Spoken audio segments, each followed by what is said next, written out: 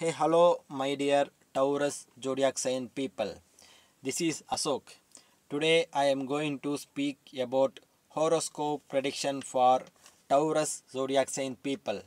My dear Taurus zodiac sign people, you are the positive thinker. You feel very, very, very active today. Today is the 90 percentage lucky day and positive day for you. And you may purchase new product for your house. Also uh, if you are uh, if you uh, if you are a businessman with taurus zodiac sign means today uh, there may be a, very very high profit today double profit today possibilities. There is a high possibility for getting double profit from your uh, business. And uh, you may also um, purchase new land uh, land from your native place.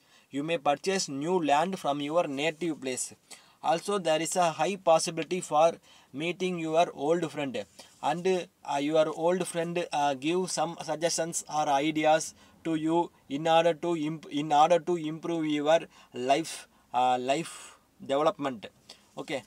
And also uh, if you are a employee working in an office means uh, today you will be uh, very successful uh, very active today. You you work very fast in your office and you easily do some challenging task given by your boss.